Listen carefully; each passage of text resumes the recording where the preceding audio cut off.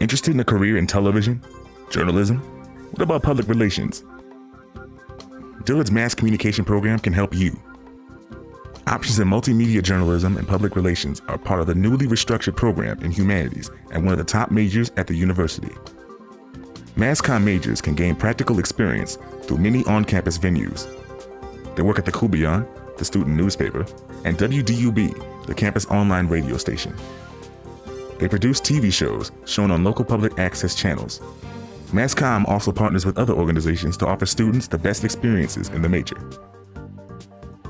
For example, the program works with WBOK 1230 AM here in New Orleans on news and student programming. Since 2003, Dillard's Mass Communication Unit has hosted the New York Times Student Journalism Institute, a two-week intensive journalism training program for 24 of the best HBCU students from around the country.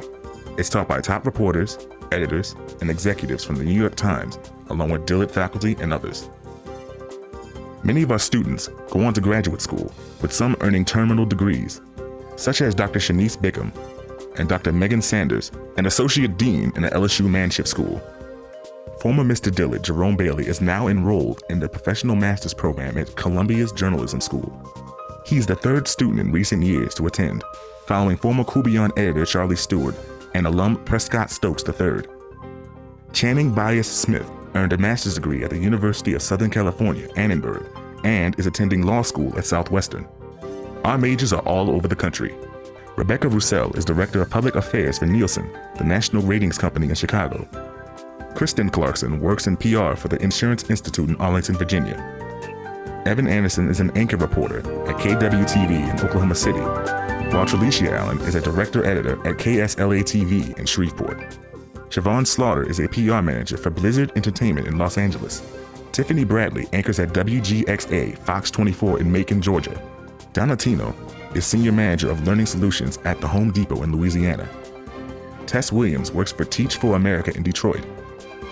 Lawrence Etal is in sports management in California. We have several alums working in journalism right here in New Orleans. For example, Stokes is a sports writer for the Times Speaking Picayune Bernice Riggins is a camera operator, and Vincent Lewis is a production engineer, both at WWL TV. And Christy Coleman is a traffic reporter at WVUE TV Fox 8. This could be you. If interested, let's talk.